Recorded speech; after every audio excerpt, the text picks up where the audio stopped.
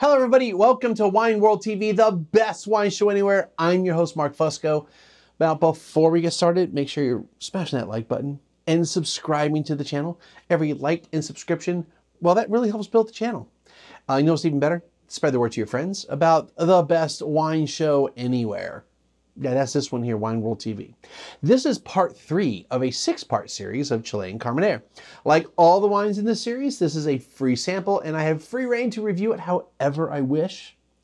Uh, way back in episode 99 of the WWTV area, era, era, the current one that we're in, I did a detailed segment on Chilean wine. Nothing has really changed from that. So if you want to know more, then hit the link in the description. Watch the first seven minutes, I guess. Yeah. That episode's links also include a ton of resources. So you check it out. Today's wine comes from Morandé. It is their Vitis Unica Carmenere. I reviewed their Sauvignon Blanc last year, so if you want to get the detailed background about them, hit up the link below to that episode. The shorter version is that the winery was founded in 1996 by Pablo Morandé. He, he is widely considered one of the pioneers of Chilean winemaking, but he didn't just up and decide one day to open a winery with no experience at making wine. He is a fifth generation in the wine industry. He worked for several years for Concha y Toro, who are one of the largest wineries in Chile and make the famous Don Melchor. I mentioned finding their vineyards last year. I found some of them, as in Morandé's, I found some more of them, specifically the vineyard for this wine, at their San Bernardino property just outside of Santiago. It took quite some time, but it nailed it again. At least I think it did. I don't know. There are still a couple more vineyards they own that are just not possible to find without more info. Which I, I don't think I can. Luckily, I don't need to know them right now. All right, so without further ado, let's get the stats for this wine. The 2021 Morandé Vitis Unica Carmenere suggested retail price $20. It's from the Valle de Maipo, the San Bernardo vineyard. Uh, I think I said San Bernardino earlier. Uh, it's 100% Carmenere, certified sustainable Chile, harvest manual, selection manual, fermentation uh, stainless steel, maceration, three to four weeks, aging 16 months, 80% French oak foudres that are 2,000 to 4,000 liters, and then 20% new French oak barriques, 225 liters. The ABV is 13.5, the TA is 3.59 grams per liter, the pH is 3.42, and the RS is 2.74 grams per liter. As I mentioned in the first of the series, the grape name is spelled in a variety of ways. For the purposes of these videos, I think I've already said this, but I'm going to say it again. Any text on screen will reflect how the winery spells Carmenere.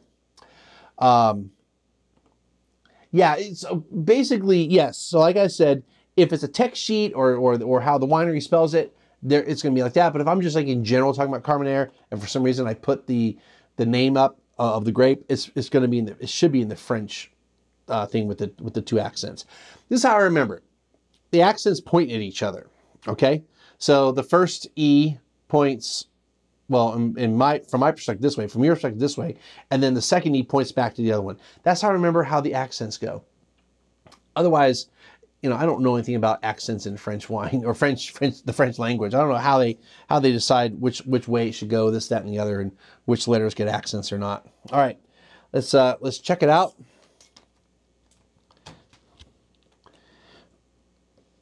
I remember liking the Sauvignon Blanc. I remember liking all the Sauvignon Blancs in that series. I didn't mention, and you you you might be seeing this episode right around the time I'm doing this. Uh, I didn't mention episode one. So there's an Australian, Western Australian wine competition that I uh, am, I'm in, and the first part was a 60 question theory exam. Um, about Western Australian wine. Not just Australian wine, Western Australian wine. I didn't know you could have 60 questions on Western Australia, but you can. And I did really well on it. There are a couple ones after I got the, the, the results back and they gave us the actual exam and the answers to the questions. Ooh, hey, somebody else, Court of Master Sommeliers, maybe you should be doing something like that. Um, it might have been a few I thought I got right, but I, when I looked at the thing, I got wrong. But uh, I did I did really well at it. So I'm a finalist. There's nine of us. Originally 12 were invited, but three of them are not are not able to make it to Houston. So I'll be in Houston at the end of August. So probably before this, episode, probably yeah, after this. This episode is probably happening before that. And uh, first place gets to go to Western Australia. Hmm. Hey, I have a good shot at getting in the top three. And second place, I think is 500 bucks. Third place, like a case of wine. I'm like, yeah, a case of Australian wine. And the people who are running it are a couple of master sommeliers. They're fantastic people. I haven't met them in person yet, but I'm, I'm looking forward to meeting them. Um, and uh, yeah, I'm super excited about it. So honestly, between now and then, I talked about making maps, which I'm going to be doing, but I also am going to just double check everything about everything Australian that is possible in the competition. They gave us some details recently. So some ideas of how to prepare for it. So I'm just going to try to be as ready as I can. I'm not revealing any of my any of my strategies in case any of the nine finalists actually watch my stuff, which I don't think any of them do, but we'll see. Anyway, uh, super excited about that.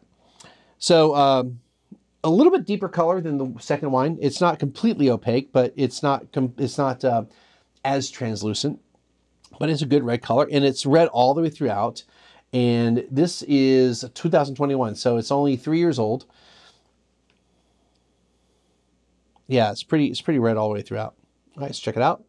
All right, so this is more the this is more that it it kind of has that cumin thing going on it has it kind of reminds me of enchiladas. Now, here's the thing: I'm looking for that first. It's not that's the first thing I smell, though. It's very much a highlight.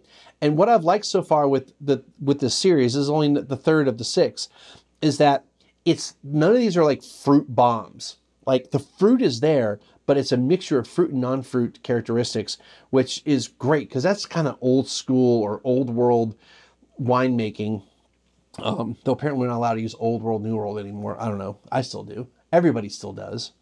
But European winemaking versus non-European winemaking, um, you tend to have a balance of fruit and earth, fruit and non-fruit, whereas much of the outside of Europe uh, wines, not everywhere, but a lot of a lot of them that where it's super easy to uh, ripen grapes, you tend to be very fruit dominant, very fruit forward, if you will. I get more cranberry than raspberry, but I get both of them here. But earth, uh, dirt, forest floor, dried leaves, garage. Ooh, I just now I got the hint of like uh, green bell pepper. So it's not just a cumin. So as as this is getting aerated, those pyrazines are opening up a little more. Yeah, so it's a combination of that. Again, there's a bit there's a roasted quality to this, um, like you maybe roasted the bell pepper yeah, exactly. There's it's not as much as last week's wine where there was so much of a fajita thing going on. This is more subtle. This is not as much in your face. And even though there's some new oak on this, um, it's not it's not coming through um, very very big. Let's see, how much new oak was like twenty percent.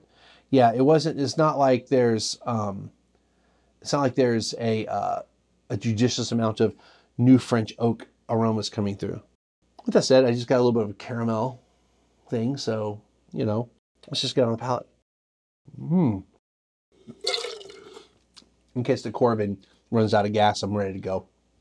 Um, so the fruit actually has is come to the forefront a little bit more, and it's kind of vanilla-like too. So the new French oak, it's it's it's there, but it's there on the palate. Matter of fact, it gives us like a creamy,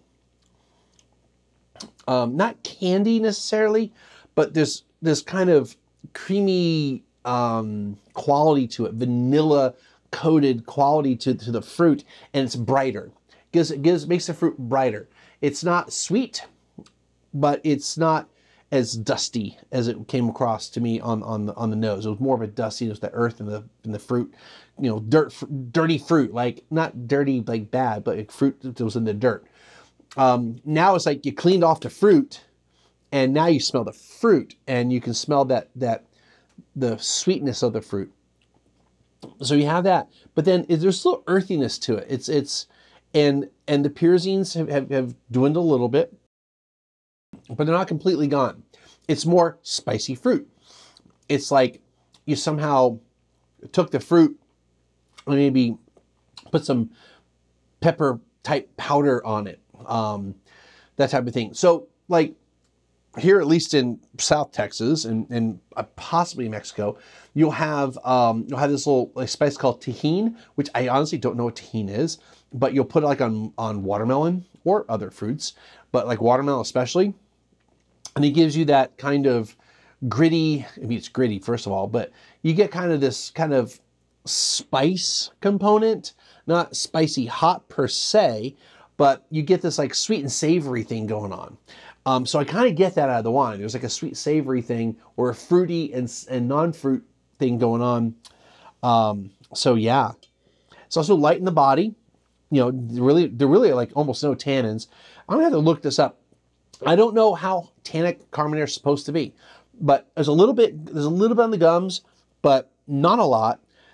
It's nowhere near like what you get from a Cabernet Sauvignon.